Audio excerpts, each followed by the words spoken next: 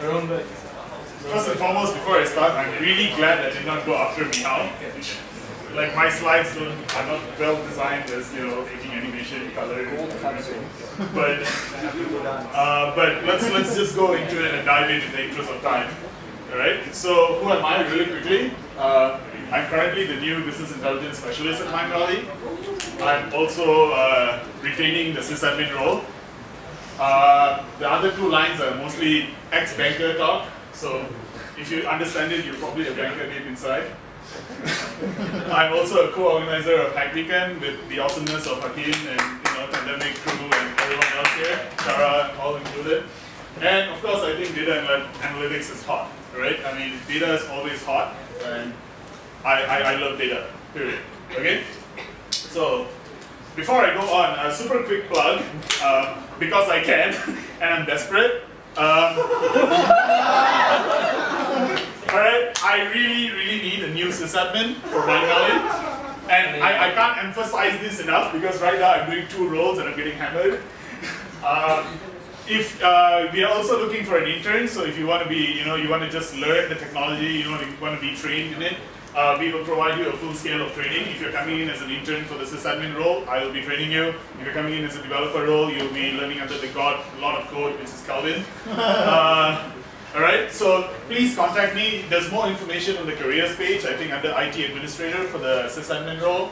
If you know anyone also, please recommend them. They don't have to be senior sysadmins, even if you're interested in it. I actually took up the job as a challenge. I told Prashant that if I can't do it within one month, fire me. All right, so fortunately I'm not been fired yet. Okay, so uh, quick plug, so just make sure you check out the page. All right, so why are you here? Super quick. Um, you know, you're probably one of these three categories. You're, you know, you're in a business, you're looking for networking opportunities, you work somewhere, uh, etc. You, or you're an investor, and you know, you're just looking at what other people are doing, and you're looking for new ventures. Or there's also a fourth category always, which is, you know.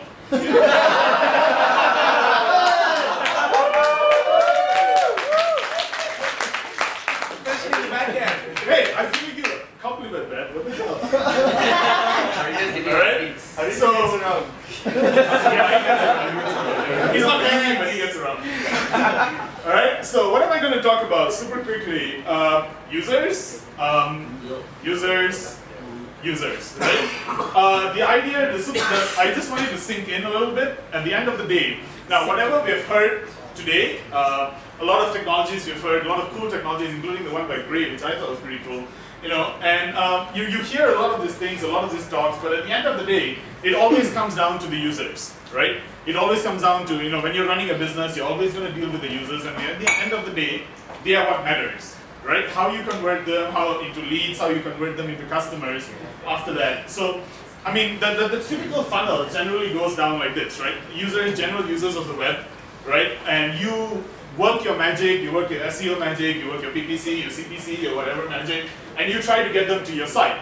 And you try to get them as a lead, right? You get them to sign up for a free offer, you get them to download whatever. Or you know, even if you're from Facebook and you might get them, you know, as a regular user who's looking at an ad, you know, or someone who's in a group and you just want them to get into this entire funnel. It's a very simple funnel, of course, but the, the default idea is this, right? And of course, there are lots of things that contribute towards it. I mean, you know, I can name six and you can probably name like 500 at this point, but uh, simple things like this actually contribute towards you converting into this funnel uh, at the end of the day, right? What differentiates the user and why a user would sign up to be a lead and why a user would actually decide to buy your product or use your service for that matter. But, you know, at the end of the day, the basic knowledge, or whatever I've been speaking right now is basic knowledge, and the idea of this is, it's not about this basic knowledge, it's about how you measure it, right? At the end of the day, if you don't have the accurate data to say which one of these things, which one of my improvements are working, which one of my changes are working, uh, how do I actually increase the number of users that come in uh, to play, right? It, it, makes no sense, right? So today I'll cover a super simple tool, uh, Google Analytics, but uh, be warned, it's just, it, this is not a one-on-one presentation. I'm not going to tell you how to embed your code in. Alright, there's enough WordPress plugins for that. Alright, and uh, you know, it's, it's, it's, it, I'm just not going to do that, right? okay. Now, uh, what I will be covering though is two super quick things. I'm not going to dive too much into it, uh, but I'm just going to cover two super simple things: uh, custom variables and also multi-channel attribution. Now, quick question uh, before I move on: How many people here actually use Google Analytics actively, like super super actively? Wow. All right, nice. All right, now the next question is, how many of you have actually used either one of these? Anyone else? No? All right, good. So that's a good audience. All right. Because if every one of you said yes, I, I just step down right now. All right. So super quickly, we'll just go into uh, the colors didn't come out right. I hope you can see that. But uh, custom variables in analytics. What is custom variables? What I want you to think about it is, I mean, there's lots of explanations on it, but think of it as just additional tagging on your pages to improve data gathering. Now, by default, when you embed analytics code, when you sign up for an analytics account, they'll give you a chunk of code and they're going to say dump it on your site, right? Now, when you do that, or in WordPress plugin, you're just going to put your UID and whatever, and you know, it propagates this default code around all your pages. By default, what it does is it tracks 140 different uh, types of variables. Now, whether you use all the data or not is, you know, completely uh, dependent on you and how deep you are into analytics. But more often than not, most of us just use it to see the flow of traffic, we see how many people are in it, etc. And we don't really deep dive into Google Analytics. Now, what I'm going to show you here is part one of analytics on steroids, which is one of the things that power users in Google Analytics do. And this is one of the things that Mindvalley is also playing around with. And it's kind of a cool technology. It's not very hard to implement, so I'm just going to try and explain it to you today. Now, um, the default format of a custom variable is uh, this, what you see here. So it says set custom var, which is a variable. Uh, there's four here, I really hope you can see this, but it says index here, name, value, and OPT, or optional scope. Alright? So I'll just go into the next slide so you can actually see what these are. Alright? Now, index. What is index? Index is just a, a number you assign between the range of 1 to 5 right? And you assign it as a slot for the variable. Now, in Google Analytics, when you're using custom variables, you're limited to the amount of slots you can use. Uh, why is this so? This is because Google um, prefers you to actually track it uh, based on what you actually need to track and not overkill. We actually had a meeting with them today and they actually said the same thing, right? The, the idea is you need to think very carefully about what you're tracking, not just, you know, blurting out everything and, you know, trying to track everything and you get an influx of data that you don't understand right? A lot of data is good, but you know, dirty data is not necessarily the best, right? So you would assign a number range between 1 to 5, and I'll show you a quick example shortly, all right? Name, this is an, ident an, identifier for the variable, and it generally appears in your top-level analytics report. What this means is when you click on the reports and you're looking at custom variables, you're going to be able to see this name here. So this is what you would put as a category of what you're going to be measuring, right? What additional thing you're going to be measuring. And I'll give you some use cases right after this. I'm just going to explain this really quickly, and then you'll start seeing the light in the next slide. um, value, what is this? This is a subcategory. So generally, let's say in your website, if you have an option to track whether you, uh, whether it's male or female who's actually clicking on a button, or male or female that's actually converting better or turning into a lead better, the gender would actually be your name, which is an identifier, right? And the value here, the second variable, is going to be either male or female, right? This is an example. So let's say someone were to click on the value, male, right? You would know better still that you know the conversion is working on that sense. So you actually have genders that visit your site. These are the male population. This is the female population, percentage. All right. So generally you have two or more values, obviously, right? More often than not, male, female, whatever it may be, you know, so on and so forth. So you can imagine other opportunities, other aspects of tracking as well that you can have more than one option. All right. So Opscope, this is an optional variable. What this is, is actually used to actually define user engagement on your site. There's three ways you can actually visit it. Uh, track it at a visitor level, session level, or a page level. Now, what this means is when a user visits your site, if your site is an e-commerce site, a site that's actually, you know, you have to log in and like Amazon, whatever, right? You generally be doing something on a session level, right? You want to figure out, you know, within that session, more often than not, what are the users doing on that page? So you, if you have something at the top bar where users are clicking or having multiple options, you will use it at the session level. Now, let's say you have a page, and in your page you have multiple options that you want to track with the user, multiple buttons, multiple choices. That would be a page level. right? Page level tracking here, and a visitor level tracking is just general, right? there's no no actual filtration or deep filtration of the scope. All right. So just to make a little bit more sense, I'm just going to give you a quick example. All right, this colors conversion better. Okay. Um, the example of this code, and this is what you would embed in a page when you're doing additional tracking, right? So you call this anything like you know event shopping, whatever it may be, right? The number one is obviously just your slot. It's the first slot of your tracking.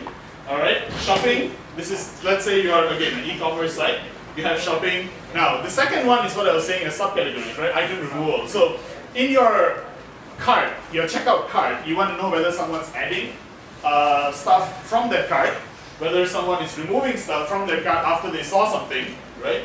whether someone is inclined to actually add something after there's a 30% offer at the side, whether someone actually added something after there was a you know a list suggestion of oh his favorite books, like what Amazon does, right? You notice that even in your checkout page you also see like lists of other people, what are they reading, what are the top recommendations, etc. and so on and so forth.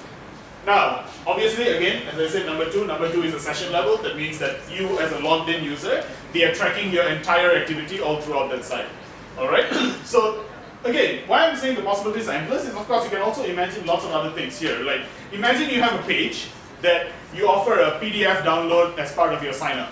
Right? This is obviously a lot of things that a lot of internet marketers do, a lot of websites do as part of uh, an option to actually gain leads. Right? Now, what you want to do or what you need to do is you need to find out what what form of sign up enables them to actually download more, right? You want to know whether Facebook is converting better. You want to know whether a Google account is converting better. You want to know whether your instant access button down there is converting better. What you would do is actually create separate events for each of those and embed them in your landing page, right? And figure out which one of those is actually converting better for you from analytics. Now, what happens when you start embedding this, and this is not on every page, mind you, these are on specific pages that you need additional tracking on, analytics will start feeding additional data into itself and it starts realizing, hey, let's take a moment and start looking at this data and saying, how can I split this even further? So your analytics data doesn't just put in the traffic, it's going to take the source of the traffic, it's also going to tell you for this event, which is shopping, there are X amount of people who did item removal after seeing this, Y amount of people did item addition after seeing this, and you know, Z amount of people actually decided to purchase straight through without you know, actually going through any of the upsells right? So you want to think of it that way and actually tweak your pages to make it even more uh, user-friendly, more, you know, to enable it to convert better, essentially. All right, so that's a really quick view of custom variables. Feel free to Google it up and play around with it. It's actually a really power user tool. I don't want to go too much into it because it's not something that every person who just clicks on analytics actually uses. It's something that you need to think about very carefully with your business to see whether you know, um, how much you need to track data. A lot of people don't want to see this, but it makes no sense if you're having a website, you're having a service online, but you're not really tracking what actually converts better for you. So as a business, it's, it's crucial for you to, to imagine, you know, like another example would be even if you're a hotel, right? If you're a hotel and you're trying to convert customers into signing up on your website versus buying it from Travelocity or whatever other sites out there, right? How do you actually entice customers to convert from your website? right? So that's the other things you need to think about very carefully. And custom variables is actually used by some really, really big clients out there, uh, from Google also, which obviously we can't tell you who, but uh, it's, but, but uh, you need an NDA for that. But, uh, but uh, suffice to say, what I'm saying is that even if you're in the travel business, if you're in the, you know, like marketing business. I mean, at the end of the day, as what Mihal says, you know, uh, the internet marketing and advertising does not equal SEO necessarily only, but it also equals your data, right? At the end of the day, as a business owner, you need to decide and you need to find out what converts best for you. Now, uh, multi-channel attribution. I'm going to cover this really quickly. I'm not going to go too much into it. I'm not going to put any code, but uh, feel free to Google it up later anyway. Now, what is Google Analytics, uh, multi-channel attribution? It's actually a new feature rolled out on Analytics very recently. This was the big hoo-ha during the recent Google Go Measure event, if you were there. All right. Um, what it essentially helps you do is it helps you track the lifetime story of your customer. What that means is that it cookies your customer in such a way that if you are a customer and let's say you visit hypothetically Basecamp, I know all of us hate it, but let's just use that example. All right, so you visit Basecamp and you visit it today and you know you try the trial today, you actually go through some lessons, you find out how to tweak it, and then eventually maybe after two months, three months, you know, after learning their lessons, uh, looking at their offers, etc., you decide to actually buy an account. You decide to actually convert and you know become a customer of Basecamp instead of just trying it out and playing around with a free account, right? What multi-channel funnel, uh, multi-channel attribution actually helps you do is it actually shows you which flow, when the customer originally came, what is the source of traffic that actually led the customer to your site, right? And how long between that did the customer actually spend going back and forth, back and forth, before they actually converted. So you actually see the entire assist funnel before the, the last conversion page. Because more often than not, someone will generally think, oh, this is the last conversion page. This was the page that actually you know, helped me convert my customers. But at the end of the day, your customers are not someone who's just going to look at your site, look at it immediately and say, yes, I'm going to buy them now. Not necessarily. Some people are what we call impulsive. They tend to buy that way. But more other people tend to do research. They tend to go around a little bit. They tend to look at your website, look at your company a little bit. So those are what we consider assisted funnels. Funnels are pages that actually lead some a customer into converting and actually becoming one finally, right? So multi-channel attribution actually shows you the entire path, and I'll show you how it looks like shortly. Um, but the one thing, the real quick thing that I need to mention is that if you use Google Analytics and you do not specify or you do not have any goal tracking or e-commerce tracking, and of course feel free to talk to me if you do have questions on that, but if you do not use goal tracking, you do not use e-commerce tracking, it is useless. The multi-channel funnel cannot help you if you do not have all of this set up. All right? Now, uh, super quickly, what it's able to show you, I'm just going to show super quickly, uh, sources of traffic. We have multiple sources of traffic, obviously. When I say traffic, how the user actually reaches your site. Right? There's obviously paid advertising, CPC, PPC, etc. Whatever, there's organic search. People actually you know, search for you on SEO, etc. This is the part that Mihal helps out, right? Uh, social networks, obviously Facebook, Twitter, Google etc., whatever it is. All right. Referrals. This is if you have affiliates, right? People who are blasting for you, people who are sending you traffic, right? Like let's say you are, I don't know, Basecamp, and someone else who has a productivity blog might actually want to be an affiliate of Basecamp because they, if they're going to blog about productivity, they're eventually going to say, hey, you should try out Basecamp, right? Hypothetically, of course, Basecamp is less productive, so we won't go right? Emails, let's say you collect leads, you collect uh, you know, people who you have in your database, in your list, and you blast it out. Now, uh, what this does is it also tracks sources from emails, it's sources from news feeds, etc., whatever, and also direct traffic. Direct traffic meaning people who actually hear it and actually type it in their browser, right? Like. All right. So multi-channel attribution actually shows you traffic that comes from all these different sources in the assisted funnel, and I'll show you how that looks like shortly. But what are you're going to do, and when you set up your goal tracking, your e-commerce tracking, and also your variables, what you're going to be able to set up is what we call sample groupings within the multi-channel funnel, and you're going to group your searches, obviously by unpaid searches, paid searches, direct traffic, referral traffic, etc. So you're going to be able to create groupings like this based on your traffic, and this actually helps you fix other stuff because as the data flows in, you're going to start realizing that these are keywords that I missed, these are keywords that are actually helping people come to my site, but you know, clearly I've not optimized on it, I don't have enough AdWords spend on it, etc., etc., etc., right? So this is actually how it looks like, and this is my last slide in the interval time, but, right? This is actually how multi-channel looks like. So if you can see it from the back, uh, and I hope you do, what you're going to be able to see is how customers come from, say, display advertising, and eventually they click an ad on Google, and they eventually just type your browser. So between this time, right, what they've seen is they've actually clicked on two different ads throughout a period of time, and eventually think about it, did their own research, probably searched a bunch of other blogs, right, and eventually just typed your URL and became a customer, right? What the next one is organic search versus paid search. Organic search, obviously in SEO, they probably have looked at you before, they've seen your website ranked before for, let's say, the word productivity, hypothetically Basecamp would rank for that, right? Of course, we disagree.